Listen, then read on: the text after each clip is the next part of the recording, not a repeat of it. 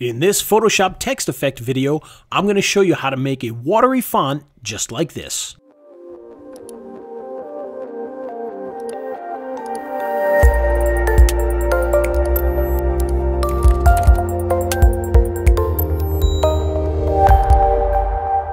To create a text effect that looks like water requires a lot of different layer effects, as well as a few different filters and things of that nature.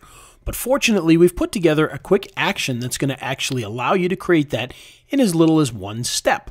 And all you have to do is go over to our action here called water, click on that, hit continue, and you're going to see it go through an entire process where it's going to add some layers and it's going to add a few different effects and things of that nature.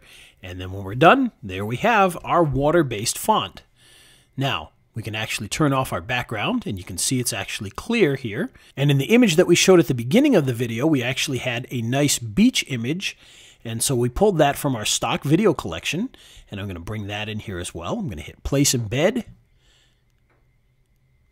and I'm going to find a photo that we like here. So there's the photo that we used. I'm going to place that into the image here. I'm going to resize this just a little bit. And center it up here like so.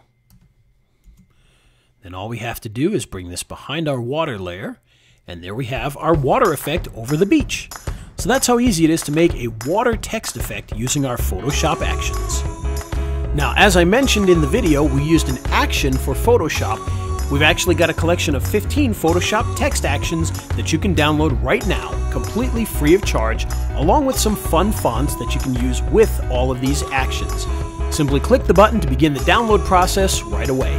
Walking down the sidewalk, kicking my feet as I'm moving to the music. Step to the beat, I woke up today, canceled all my stepped right outside with my guitar in my hands and the notes became as the sound caressed the air and I kicked it up a notch as I strolled without a care cause I'm going